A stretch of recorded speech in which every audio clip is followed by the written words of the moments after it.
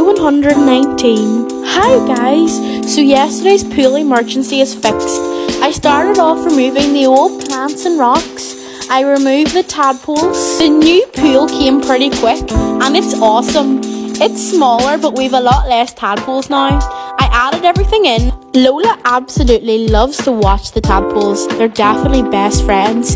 You all love it when I put the tadpoles through the sieve. So here you go. I then add the tadpoles to the nice clean pool. It's just perfect.